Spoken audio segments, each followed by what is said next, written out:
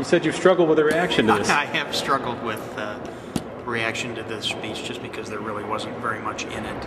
Uh, not very much new at all, and certainly nothing game changing. Uh, and Ohio is really in need of some game changing ideas.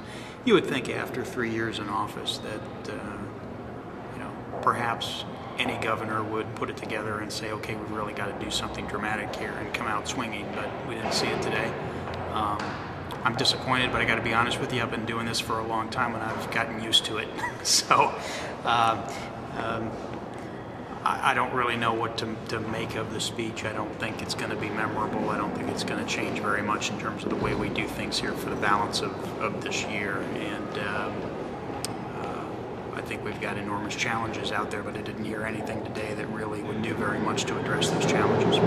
Did you hear anything today that he said that you'd support? Um, well, I, I, believe in Ohio too. you know, no, look, I, I think that uh, um, I think that uh, we've done some good things on tax reform. Of course, we started that before he got here. Um, we've done some good things in supporting our veterans and trying to get them through to a college education. Uh, I, of course, support the Third Frontier program and think that investing in industry and businesses that are our strengths and growing areas of the new economy is a very good idea. It's been a successful program and one that should be continued and we should have a commitment to.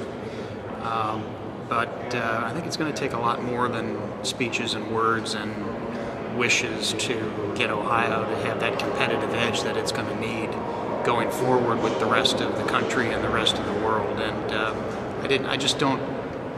I don't have very much optimism right now uh, that, that, that that's on the horizon for Ohio. I think we've really got to do some soul searching, not only for ideas, but for leaders.